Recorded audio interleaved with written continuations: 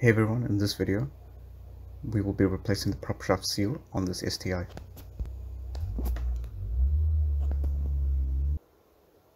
So what you want to start by doing is jacking up your vehicle. Jack it up on all fours, this will make life a lot easier when removing the drive shaft.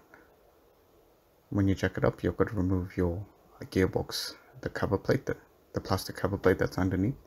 You've got to remove your exhaust and then you've got to proceed to removing the drive shaft.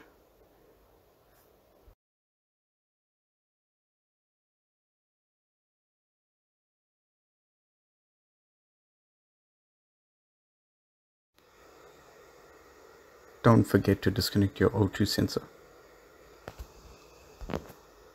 Depending on your setup, you should have one just below the uh, gearbox around that vicinity, which you have to unplug from the gearbox harness. You do not need to do this on the front, but I just prefer to do it. I like to mark the drive shaft because this vehicle has never been taken apart before. So I like to mark it to the gearbox and to the front of the prop shaft just make a line. So when it comes time to reassembly I can just line it up in exactly the same spot. It's not necessary for the gearbox side but I'd like to do it just to keep the balance of the whole drivetrain as per what Subaru did. But this is crucial for the rear differential. You want to make sure you mark this mark this to the pinion flange and mark this to the drive shaft. Make sure the marks are clear and make sure they will not come out this is a very important step. Do not miss this point out. So I'll repeat it again. The rear drive shaft that goes onto the differential to the rear diff make sure it is splined and marked so that it can be installed in the exact same position as it came out from the vehicle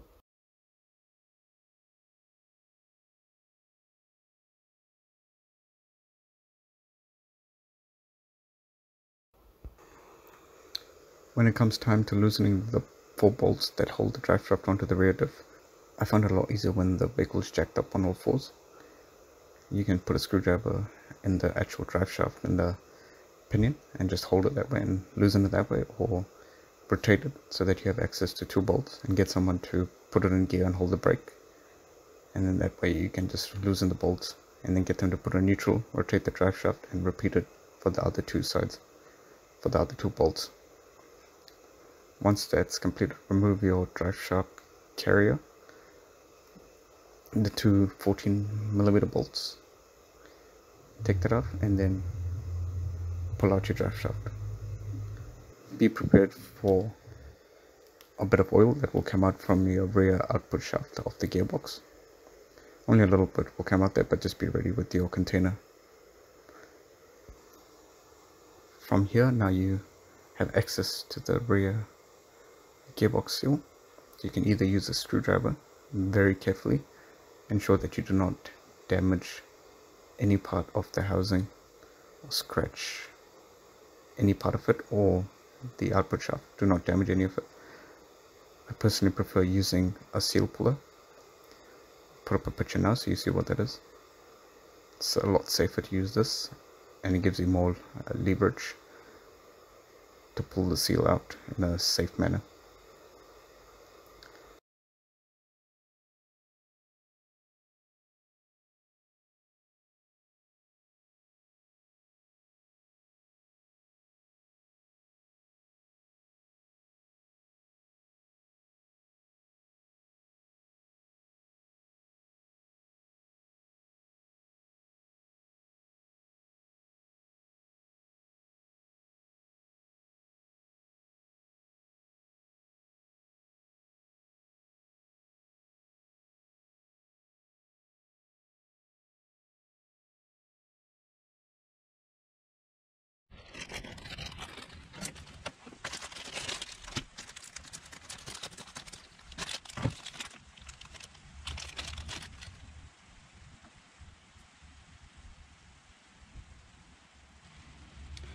So what you want to do is you want to lubricate this inner seal and you want to lubricate the outer part of the seal as well so it pushes in nice and evenly.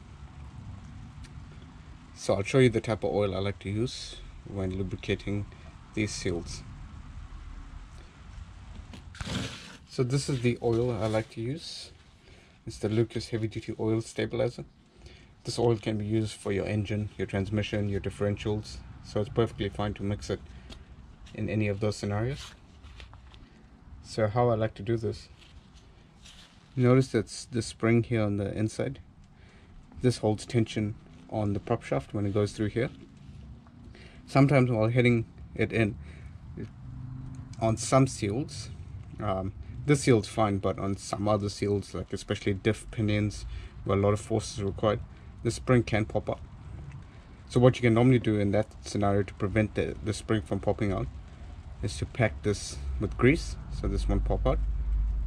But instead of grease I just use this um, stabilizer. It's quite a thick heavyweight oil.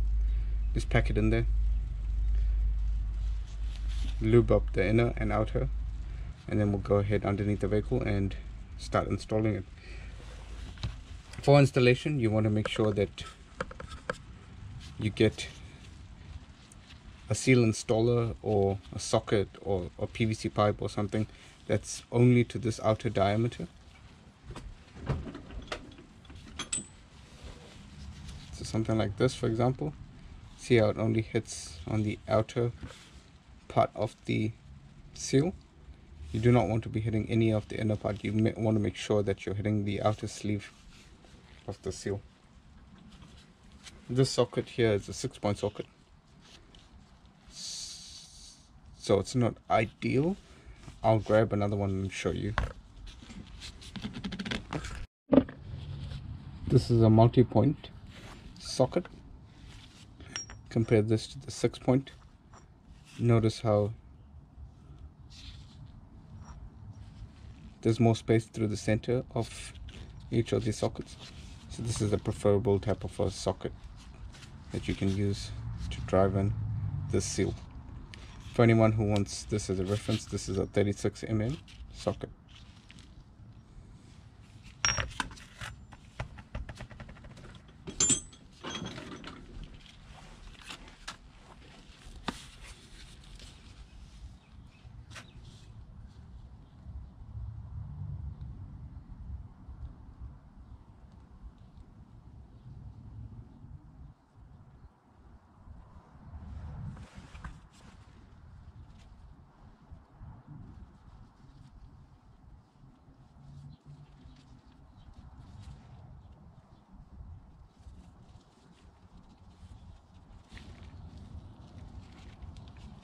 This is an extremely good oil to use for installing any seals. Your cam seal, crank seal. It's a very thick type of oil. It's it's almost like a grease type consistency, but yet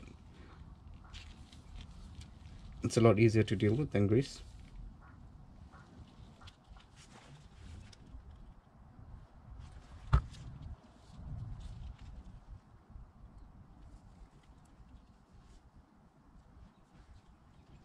It's done, it's all good to go now. Head underneath.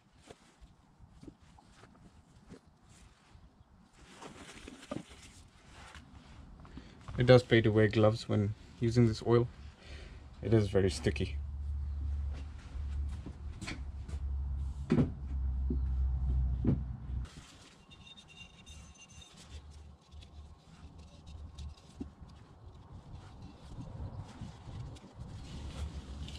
Make sure you clean that whole area and just check for any dirt or anything similar.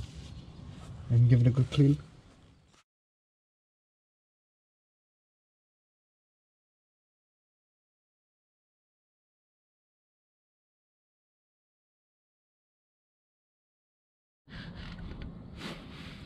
So as you saw there with the proper lubrication you don't even need to um, smash it in all you have to do is just push it in with your hand as, with as much force as you can if you can others you can tap it in. And then finally use the mallet and tap in the remaining. Just make sure you have an even lip all around this part here you just want to feel in or just do what I did just take a rough measurement.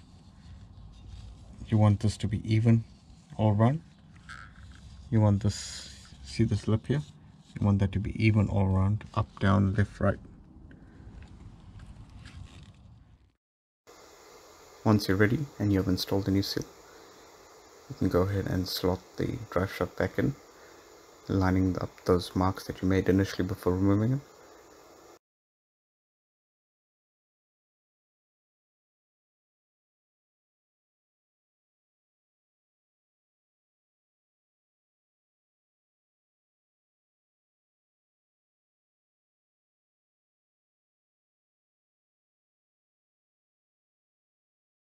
I personally like to add a bit of Loctite to the bolts.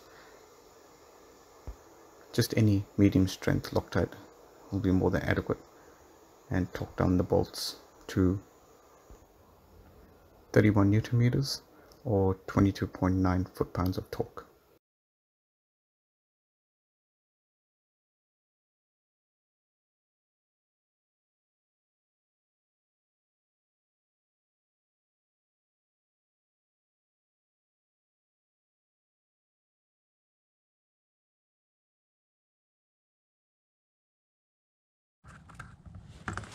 So once you do that to all four bolts, you can go ahead and torque them down. Oh, of course, okay. Crucial point. Make sure you line up the marks that you made originally. They should all line up again. It's just for phasing and balancing because that's how it was balanced from the factory. Especially if this prop shaft has never been touched before and you've had no issues with vibration. You want to try to install it back in the same manner.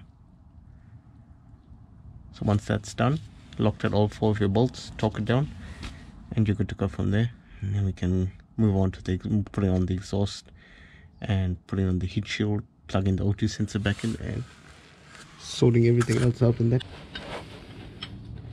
When tightening your bolts here, there's two methods in which you can use to lock the drive shaft. You can either get a helper and get them to put the handbrake, then you tighten these two, get them to release the handbrake and then you rotate the whole drive shaft. But if you don't have someone to help you and you're just a single person just take a long screwdriver or pry bar stick it in the yoke and just lock it that way. You go ahead and tighten up all your bolts.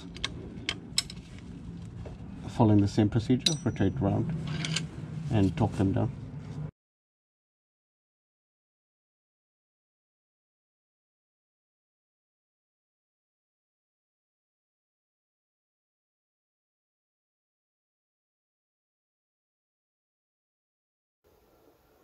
Hope this video was of some help to you. If it was, please like and subscribe. Thanks for watching everyone. See ya.